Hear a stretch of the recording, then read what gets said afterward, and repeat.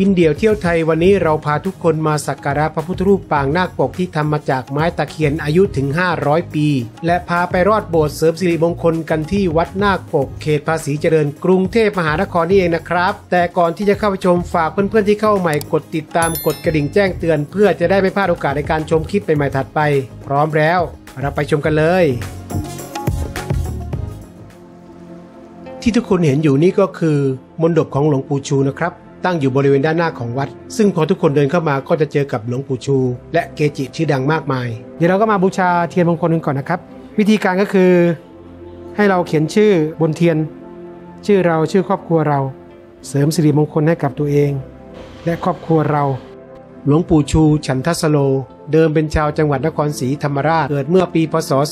2401 ต่อมาโยกย้ายถิ่นฐานมาตั้งลกลากที่ธนบุรี มีเรื่องเล่ากันว่า หลวงปู่ชูเป็นพระอาจารย์รูปเดียวที่หลวงปู่เอี่ยมวัดหนัง กล่าวยกย่องว่าเก่งทางวิชาคม และวิชาแพทย์แผนโบราณ ส่วนใหญ่ผู้คนที่เข้ามาขอพรจะขอพรเรื่องสุขภาพเป็นหลัก โดยจะนิยมอธิษฐานจิต และนำศีรษะแตะที่ด้านหลังเพื่อความเป็นสิริมงคล ทางด้านหน้าของวิหารก็จะเป็นรูปปั้นของพญามุจลินนาคราชนะครับ มีความสวยสดงดงามมาก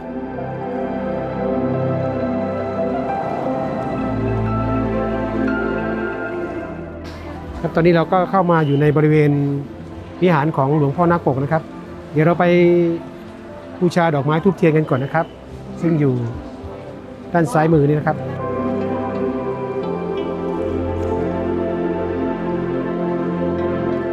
ทางด้านซ้ายมือของเรานี่ก็คือเป็นพระสังฆจายที่เราไม่เคยเห็นที่ไหนมาก่อน ว่ามีนาคปกอยู่ทางด้านหลัง วิธีการก็คือให้เราอธิษฐานจิต แล้วก็ใช้มือลูบที่ท้องของท่านแล้วก็เข้ามาหาตัวสามครั้ง เพราะว่ามีความเชื่อกันว่าจะทำให้เรามีทรัพย์เพิ่มพูน มีความโชคดีมีชัย การงานการเงินร่ำรวยมั่งคั่งส่วนทางด้านขวามือก็เป็นพระนาคปกที่แกะสลักจากไม้ตะเคียนที่มีอายุราวๆ500 ปี ทางด้านขวามือก็เป็นพระอุปคุตพระอุปคุตก็มีความเชื่อกันว่าใครที่ได้กราบไหว้บูชา แล้วก็จะทำให้เราได้มีกินมีใช้นะฮะต่อไปจะพาทุกคนไปสักการะบูชาหลวงพ่อนาคปกซึ่งอยู่ในวิหาร แต่ก่อนที่เราจะเข้าไปขอพร แล้วก็เวียนรอบวิหาร 9 รอบ แล้วก็ท่องบทสวดอิติปิโส ซึ่งรอบๆวิหารก็จะมีพระประจำวันเกิดของแต่ละปีนะครับ วิหารนาคปก ภายในอัญเชิญพระพุทธรูปปางมารวิชัย จากเมืองสุโขทัยมาประดิษฐานไว้ แล้วสร้างพญานาคเจ็ดเสียนด้วยปูนปั้นกระโดดกายขึ้นสี่ชั้นแผ่พังพานขึ้นเหนือเสียนพระ จิตกรรมฝาผนังภายในวิหาร ด้านหลังเล่าเรื่องราวเกี่ยวกับการเสด็จลงจากดาวดึงและด้านหน้าเล่าเรื่องราวการชนะมารของพระพุทธเจ้า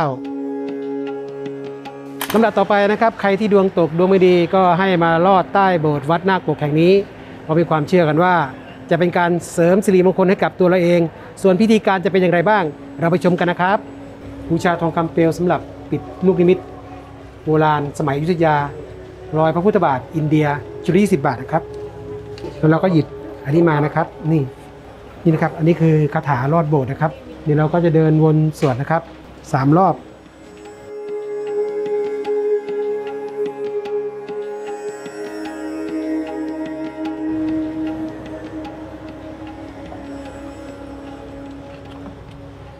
ก็หลังจากเราเวียนรอบแล้วนะครับ เราก็จะไป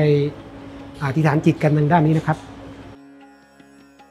บริเวณใต้โบสถ์มีสิ่งศักดิ์สิทธิ์มากมาย เช่น ลูกนิมิตโบราณที่มีมาตั้งแต่สมัยอยุธยา รอยพระพุทธบาทจากประเทศอินเดีย รวมไปถึงบ่อน้ำศักดิ์สิทธิ์อีกด้วย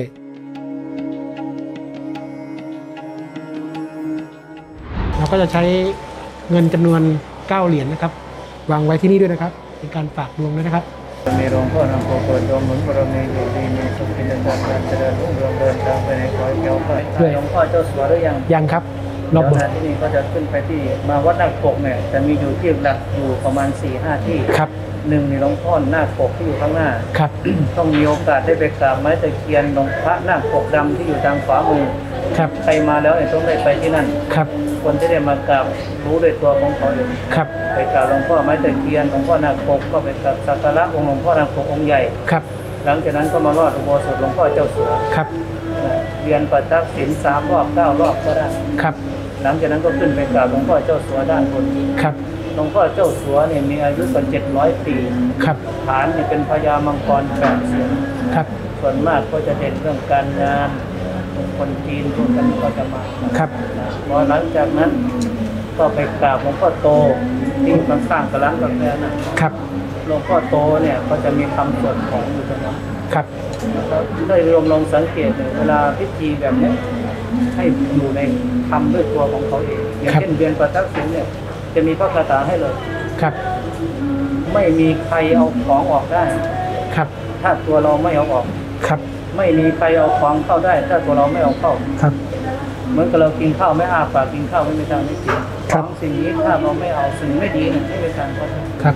ฉะนั้นเนี่ยเขาเลยมีความเชื่อว่าสิ่งไม่ดีทั้งหลายไม่ได้มารอดโผล่นั้นน่ะสิ่งนั้นจะหายไปอ๋อด้วยครับพลังแห่งพุทธคุณครูบาอาจารย์ท่านสวดมนต์200กว่าปีนะโบสถ์หลังนี้275ปีสาธุครับไม่เคยห่างหายจากเสียงสวดมนต์ครับ พลังบุญที่อัดแน่นเอาไว้เนี่ยก็เลยแผ่ให้โยมท่านทั้งหลายอ๋อครับครับเชื่อใจในบุญว่าทำอะไรก็ตามถ้าลงมือทำทำด้วยตัวเองยังไงก็เป็นมงคลสาธุครับอาตมาก็บอกโยมทุกคนว่ามาวัดด้านปกช้าช้าๆครับเย็นครับๆทำบุญเนี่ยอย่าวิ่งไหวมาราธอนครับบางคนเนี่ยอยากไปไหว้ไหว้มาราธอนไปนะแต่ไม่ได้เห็นบุญครัถ้าบเราช้าๆเย็นๆได้เห็นครับไม่เยอะแต่ได้บุญ ครับทุกคนเดี๋ยวเราขึ้นไปไหว้หลวงพ่อเจ้าสัวที่อยู่ด้านบนนะครับ ในโบสถ์นะครับ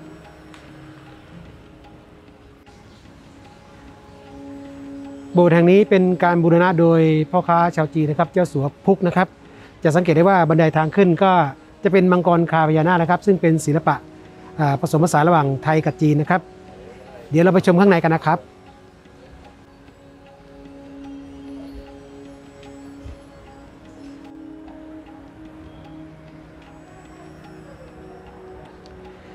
บริเวณหน้าโบสถ์นะครับก็จะมีพระศรีอริยเมตไตรนะครับ สร้างในสมัยรัชกาลที่ 4 ซึ่งเชื่อกันว่า ใครได้กราบไหว้บูชา แล้วก็จะมีบุญฤทธิ์รูปสวยรวยทรัพย์รับโชคนะครับสังเกตดูด้านหน้าจะมีนี่ครับสัญลักษณ์ของเงินนะครับ เดี๋ยวเราจะเข้าไปดูในโบสถ์กันนะครับ ซึ่งกิจกรรมฝาผนังของโบสถ์นี้ก็จะเป็นศิลปะจีนนะครับ ไม่เหมือนกับที่อื่น จะเป็นอย่างไรเดี๋ยวเราไปดูกันนะครับบูสดหลวงพ่อเจ้าสัว ภายในประดิษฐานพระพุทธรูปจากเมืองสุโขทัยเป็นพระประธานไว้เหมือนกับวิหาร ฐานเป็นมังกร 8 ตัวพันเกลียวกันขึ้นเป็นฐานพระ ด้านหน้า 5 ตัว ด้านหลัง 3 ตัว ซึ่งเป็นศิลปะและความเชื่ออันเป็นมงคลของชาวจีน และเป็นคติธรรมในทางพระพุทธศาสนาจิตรกรรมฝาผนังโบราณเครื่องไหว้มงคลจีน ประตูและหน้าต่างอุโบสถสีแดง เป็นภาพเทพทวารบานจีน สวมมงกุฎไทยบนกิเลน แสดงถึงวัฒนธรรมร่วมสมัยไทยจีน เดี๋ยวเราจะไปไหว้หลวงพ่อโตกันนะครับ ซึ่งอยู่บริเวณด้านหน้าของโบสถ์ออกมาก็เดี๋ยวซ้ายตรงประตูนี้ได้เลยนะครับ ตรงนี้คือประตูทอง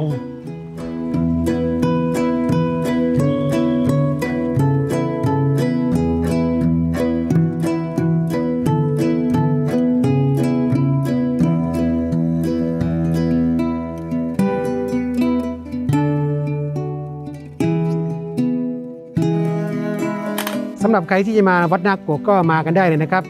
ที่นี่อยู่ในเขตภาษีเจริญ กรุงเทพมหานครนี้เอง ฝากเพื่อนๆกด subscribe กดไลค์กดแชร์ให้กับช่องมีเดียเที่ยวไทย คลิปหน้าเราจะไปที่ไหน ติดตามชมกันนะครับ